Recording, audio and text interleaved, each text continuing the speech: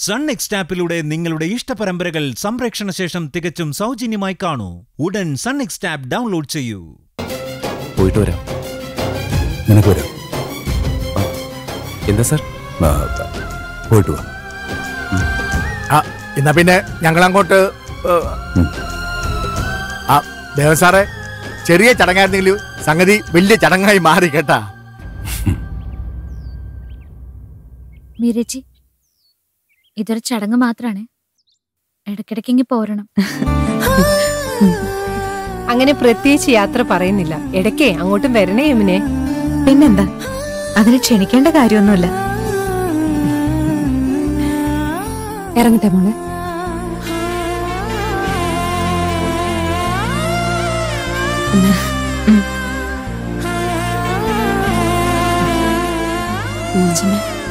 പോയിട്ട് വരാം. പോയിട്ട് പോ വാ മോളെ. മോൾ കേറിക്കും ശരി. ആ.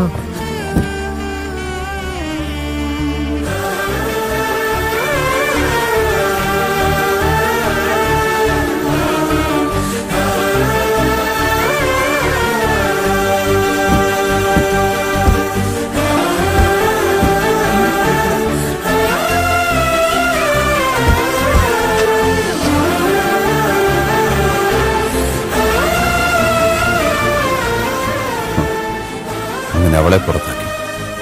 ഇനി മനസ്സുകൊണ്ട് പണിയടിച്ച് പിടിക്കാൻ വയ്ക്കണം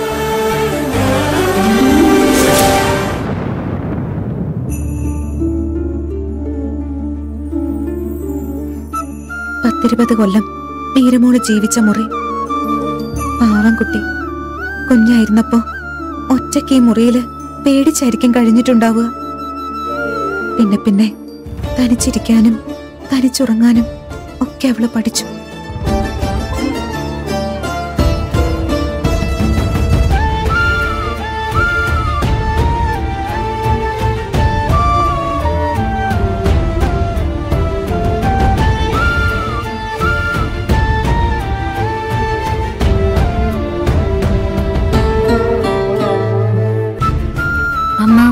സങ്കടപ്പെട്ടിരിക്കുകയാണോ?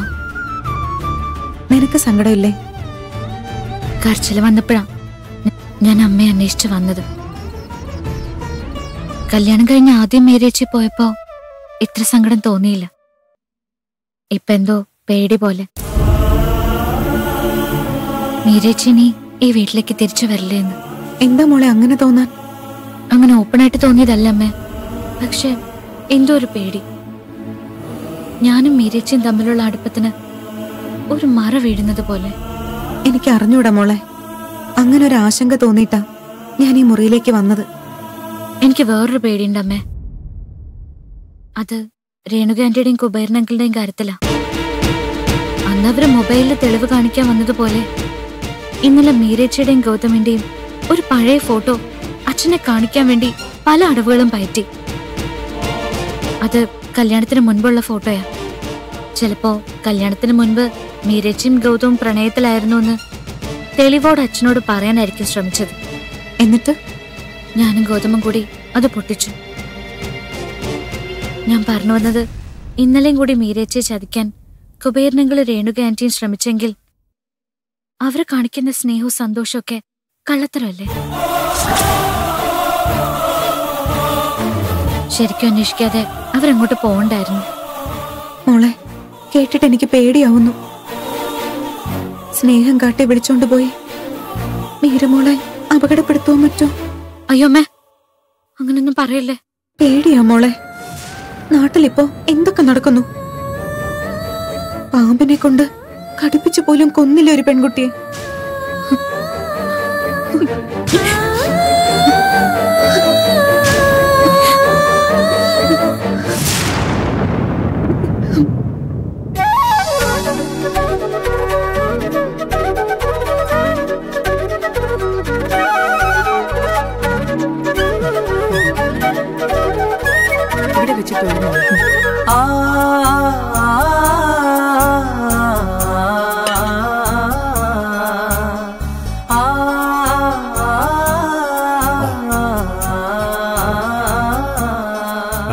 നിരമോളെ എന്താ അതെ എത്രയോ മുമ്പ് ഈ വിളക്ക് കൊളുത്തേണ്ടായിരുന്നു എന്റെ മോൾ.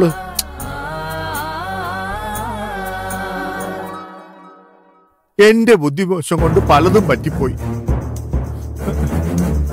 മോളെ അതൊക്കെ മനസ്സിൽ നിന്ന് മാച്ചു കളയണേ മോളെ. ആ, ഇന്ന് മുതൽ നീ എനിക്ക് മകളാ മരുമകളേ അല്ല കേട്ടാ? നിനക്ക് ഇതുവരെ കിട്ടാത്ത അച്ഛന്റെ സ്നേഹം ഇനി മുതൽ ഞാൻ തരും. സന്തോഷായില്ലേ? എടാ മോനെ നീ അല്ലേ പറയാറ്? പട്ടിയുടെ വാൽ പന്തിരാണ്ട് കൊല്ലം കുഴലിലിട്ടാലും നിവരില്ലെന്ന്. ഇപ്പൊ നിവർന്നത് കണ്ടോ?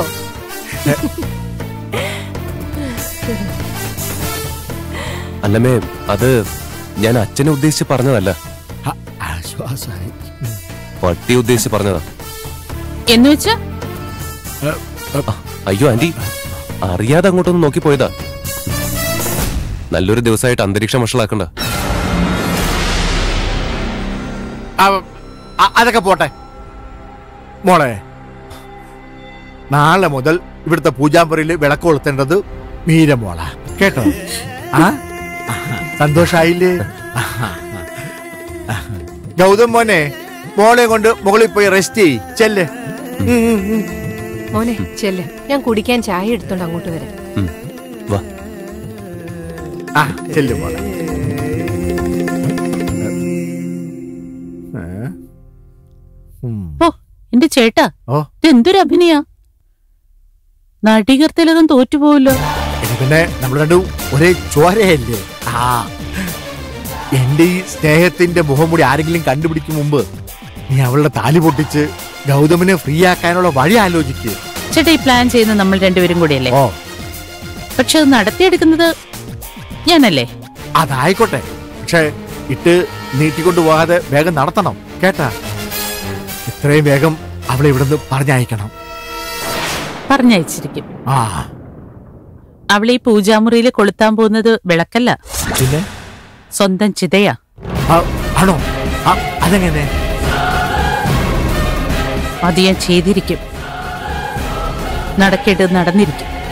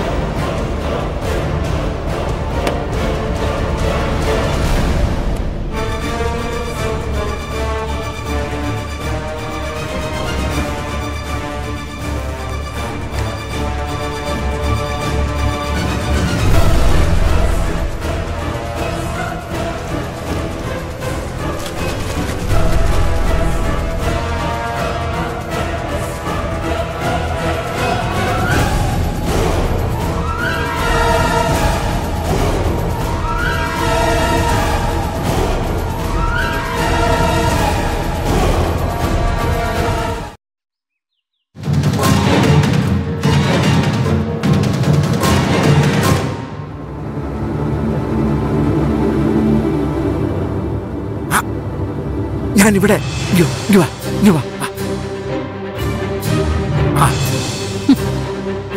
ചേട്ടന്റെ ഈ വെപ്രാളം കണ്ട തന്നെ മറ്റുള്ളവർക്ക് സംശയം തോന്നും.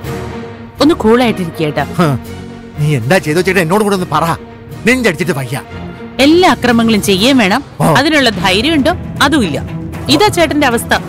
നീ ഇപ്പൊ എന്റെ അവസ്ഥ വിവരിക്കാതെ ചെയ്തു വെച്ച കാര്യം പറ. ചേട്ടൻ എന്താണോ ആഗ്രഹിക്കുന്നത് അത് നടക്കും. നടക്കുമ്പോ കണ്ട് സന്തോഷിക്ക്. അതല്ലേ നല്ലത്? എടി ഇതൊരു മാതിരി എടി നടക്കാൻ പോണത് മീര പൂജാമുറി വിളക്കത്തിക്കുന്നതല്ലേ? അതെ. ആ. പക്ഷേ വിളക്കിനോടൊപ്പം അവളും കത്തും. അതെ അതെങ്ങനെ? ചേട്ടാ ഒരു നല്ലെണ്ണ ഒരു അല്പം ഓ. ബാക്കി മുക്കാലും പെട്രോൾ. ഓ. തീ ഒന്ന് തൊട്ടാ മതി. ബോംബ് പൊട്ടുന്ന പോലെ പൊട്ടും. ആന്നേ.